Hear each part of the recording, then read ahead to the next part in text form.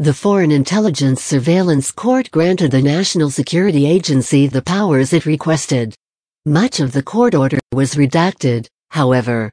The court order, which was released on Tuesday, does not reveal the identities of any of the telecom providers the National Security Agency NSA is working with nor whom the agency is targeting, according to Reuters.